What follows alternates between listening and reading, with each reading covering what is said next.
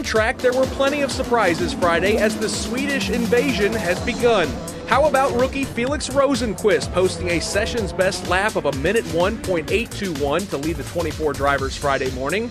Not to be outdone, fellow Swedish driver rookie Marcus Ericsson was impressive, posting the third best lap for Schmidt Peterson Motorsport. Cautions can breed cautions. Rosenqvist oh, in the oh, inside. up, but he gets it. Wow, Power squares him up. You won't go through there two abreast. He's got him. Felix Rosenqvist made Power. his intentions clear. Down to turn four, Will Power will look for an inside line. Pokes his nose out. Is he going to go Oh, through with tight. it? No. Almost gets his front wing chopped off by Rosenqvist. What a move. What a terrific job by Rosenqvist on the brakes in turn one to just keep that tire rolling after a little bit of lockup. That is the sign of an experienced and very talented Colton Herta, your second IndyCar race. The driver is immediately in front of you at the finishing order. 2016 Series champion Simon Pagenaud. Ahead of him, multiple race winner James Hinchcliffe. If I'm looking at a rookie start to your campaign, P8, I'm hoping you're happy, my man. Yeah, yeah, I, I am very happy. Obviously, it, it could have been better. I, I touched the wall out of turn three on the restart, and I, I dropped back from whatever we were in 10th all the way back to like 18. Yeah. So, unfortunately, that that kind of sucked. And uh, but yeah, we had we had really good pace. You know, we we had pace to be up there in that top five. Let's talk about that having to move forward again. So you're having to do some of that on track, hopefully a little bit on pit lane, lot of it pit stops and pace, such. yeah. What's that process like though? Because you don't do that in Indy Lights. There's, you know, that's not something you've been accustomed to, overcutting, undercutting, and you yeah. name it. Yeah, it's it's it's huge. You know, most of the racing you see in IndyCar is, is in the pits and out of the pits, opening laps, stuff like that. So, um, yeah, it's it's tough. You know, obviously a, a big thing to, to adjust to is cold tires and getting up to speed really quick and learning how to use overtake and when to use it to, to your advantage and obviously not use it up so you have some at the end. Spoke with Felix Rosenqvist to start. He looked like he not only did 110 laps, but also got in a fist fight. He was just completely worn out. How are you feeling on a 80 degree humid day here in Florida after your race? Oh, What's- pretty worn out. Yeah, well, what's what's complaining for those who might never drive an Indy car? Definitely the hands. That's kind of what you get at these street circuit is is the kickback in the car and the steering wheel always. Uh, you know, a lot of a lot of people say the steering wheel is always trying to be ripped out of your hands, and, and you know, I was always like, oh, whatever, we'll see. It's, oh man, the thing just wanted to go straight. It did not want to turn, but. Um, I think we had really good balance. You know, I think I think it, it's a little frustrating for me. I'm happy we got a top ten in the debut, but I think we really should have been in the top five. We were so quick this weekend.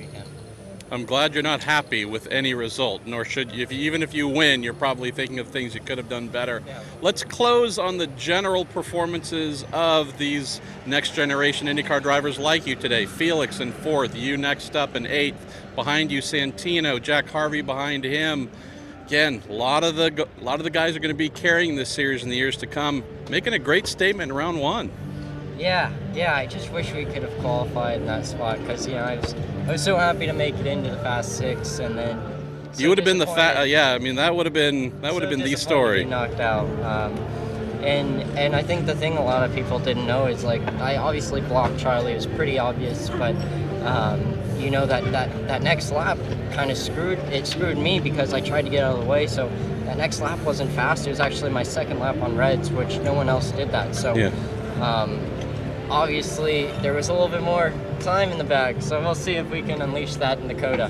So if we're talking frequent flyer miles, 23rd to 9th for Santino Ferrucci. Not your first IndyCar race, got to do a couple last year, but your true proper start to rookie season.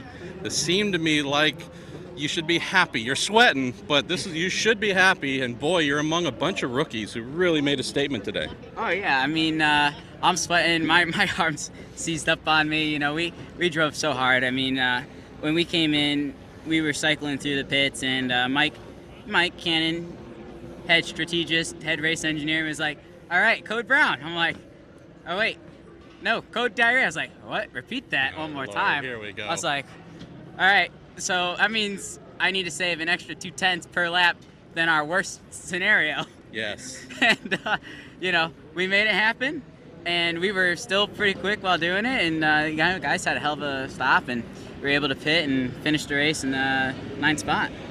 Tell us about that march forward. Uh, obviously, a couple drivers had some adversity, but you don't recover that many positions without doing a lot of passing. No, I mean, to be honest, there's a lot of waiting. I probably only passed one car. We did a lot on pit strategy and using our overtake and undercutting people. You know that that was crucial. I mean, when we when we came out of the pits, we had to have stellar pace. I mean, we couldn't make any mistakes. We had to drive as hard as we could because passing here it, is probably the hardest track I've had to deal with on the IndyCar calendar mm. by far. So I mean, we we did we made it work with strategy. We undercut a ton of cars. We kept our nose clean at the start of the race, which was super important. And when we cycled out, cycled out ahead of everybody, and we just stayed there. Graham Rahal, James Hinchcliffe, and Ed Jones. Gotta say, Jack Harvey doing a terrific job today, running in sixth place. Sister car with James Hinchcliffe just behind, but Jack Harvey's been leading the charge.